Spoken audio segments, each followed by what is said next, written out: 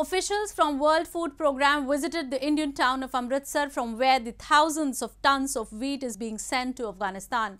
They heaped praise on the Indian government saying the assistance being sent by India was of premium quality. Meanwhile, the Special Inspector General for Afghanistan has said that the humanitarian conditions were deteriorating rapidly in Afghanistan and the world needed to do more in order to prevent it from plunging into acute poverty.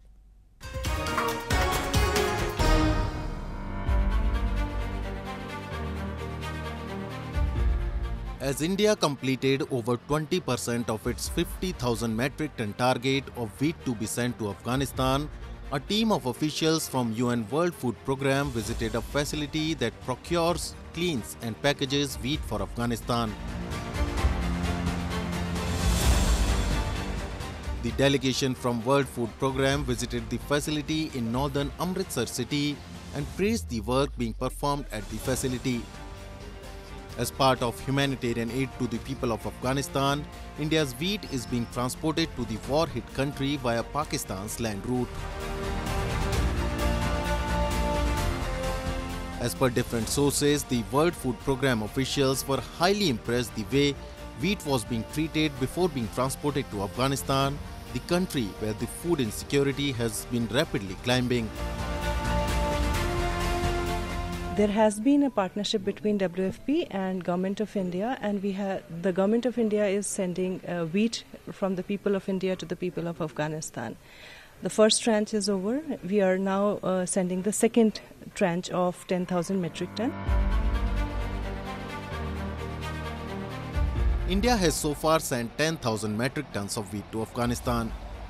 In total, India plans to send 50,000 tons of wheat to Afghanistan on an infrequently used land route through Pakistan in a bid to help the country facing poverty and hunger since the takeover by the Taliban last year.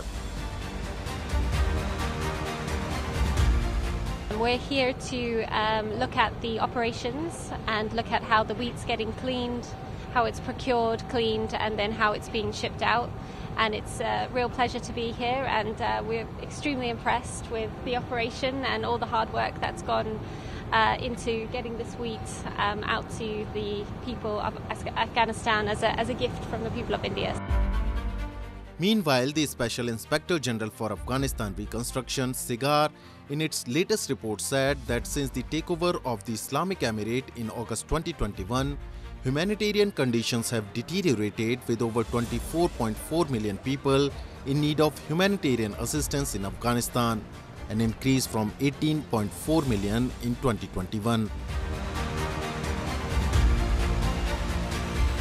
SIGAR in a report to the US Congress said that 70% of the Afghans are unable to provide for their basic needs.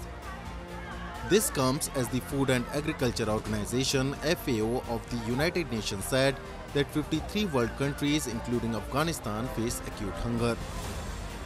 Afghanistan has been suffering from drought in recent years, made worse by climate change, with low crop yields raising fears of serious food shortages. The international community is grappling with how to help the country of some 40 million people without benefiting the Taliban. As per SIGAR, the current humanitarian crisis in which 23 million or some 60% of the population are reliant on food aid is having a disproportionate impact on women and children.